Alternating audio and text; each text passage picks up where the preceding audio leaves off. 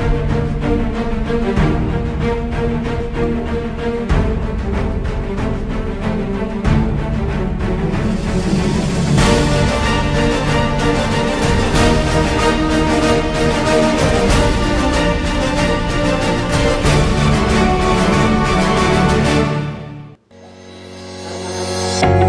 Ikatan Guru Taman Kanak-Kanak Indonesia Kepulauan Yapen melaksanakan konferensi kerja yang dihadiri langsung oleh Ketua IGTKI Provinsi Papua, Ketua PGRI Kepulauan Yapen, Kadis Pendidikan dan Kebudayaan Kepulauan Yapen, di mana IGTKI merupakan organisasi profesi guru TK yang menyiapkan generasi milenial di era revolusi industri. Guru sebagai ujung tombak pelaksanaan pendidikan dituntut memiliki integritas dan kemampuan profesional yang tinggi agar mampu melaksanakan pengabdian yang mencerdaskan anak usia TK sebagai penerus bangsa. Hal tersebut disampaikan Ketua IGTKI Kepulauan Yapen Dwi Swiswandani dalam sambutannya. Untuk diketahui anggota IGTKI PGRI di Kepulauan Yapen terdiri dari 14 TK yang tersebar di distrik Yapen Selatan sebanyak 12 TK, distrik Angkai Sera 1 TK, dan distrik Yapen Timur 1 TK dan direncanakan akan dibuka lagi satu TK negeri di distrik Marau.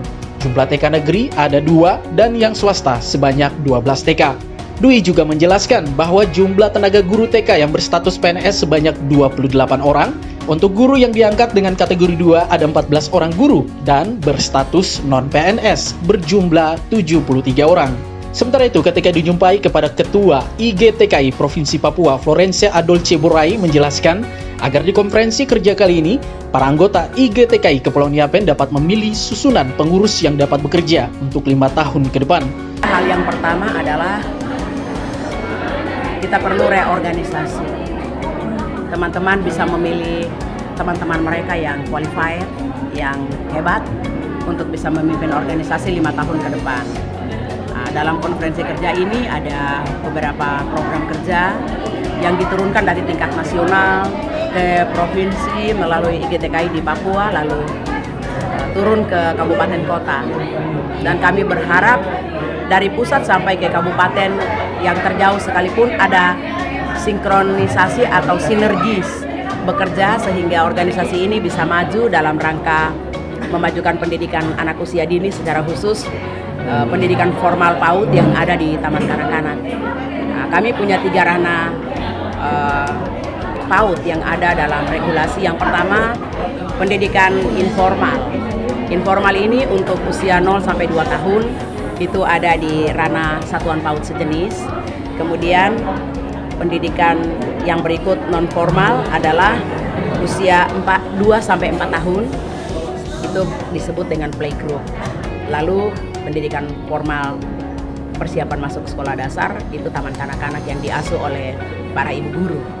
Sementara itu, mewakili pemerintah Kabupaten Kepulauan Yapen, Kepala Dinas Pendidikan dan Kebudayaan, Saskar Paidero, kepada Humas menjelaskan bahwa IGTKI sebagai organisasi profesi dapat memilih kepengurusan secara demokratis dan yang terpilih merupakan guru-guru yang benar bisa bertanggung jawab untuk menjalankan roda organisasi ini. Pemerintah daerah mengapresiasi konferensi kedua GTKI PGRI Kabupaten Kepulauan Yapen yang hari ini telah dibuka resmi dan harapan kami di sini adalah uh, pertama dia organisasi profesi uh, tentunya nanti diharapkan untuk pemilihan pengurus ini benar-benar pengurus kali ini uh, bisa terpilih secara demokratis tentunya dan uh, pengurus yang terpilih atau ketua dan jajaran yang terpilih itu adalah guru-guru uh, yang benar-benar bisa bertanggung jawab untuk memimpin menjalankan roda organisasi ini.